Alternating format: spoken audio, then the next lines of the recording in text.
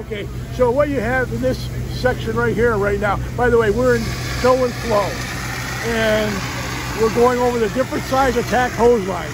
Right now, we're working with two inch hose lines that have a solid bore tip, and it's a one and one sixteenth inch tip. So each hose line is flowing, oh, probably in the neighborhood of 245, 250 gallons a minute. And these firefighters are able to work with something that is, is relatively, it's been out there in its fire service, but we're really bringing it out, letting the people work with it here, getting the feel of it, and it, it's looking pretty good. As you can see, you know, these guys are getting into it. They're able to feel more confident with what they've done in the, little while that we've had them already this morning. I'm.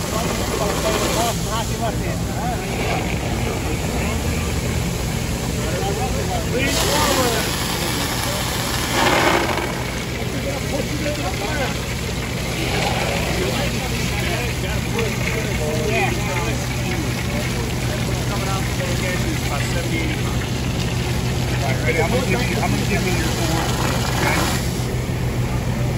Do you feel what that is right there? Go away.